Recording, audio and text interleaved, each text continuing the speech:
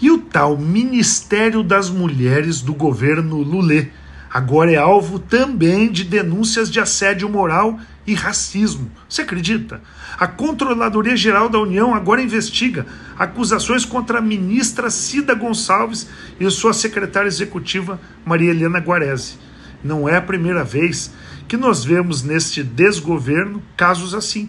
Recentemente, o ministro dos Direitos Humanos, Silvio Almeida, foi exonerado com acusações de assédio sexual de dezenas de mulheres.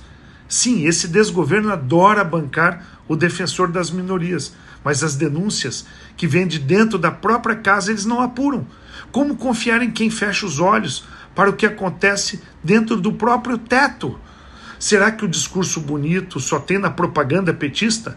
Enquanto isso, mulheres vítimas se calam por medo de represálias. É o fim o que está acontecendo. Quer saber mais sobre as verdades que o Molusco e seus companheiros tentam esconder? Siga aqui meu Instagram. Dá uma olhada aqui embaixo e com certeza opine e compartilhe esse vídeo.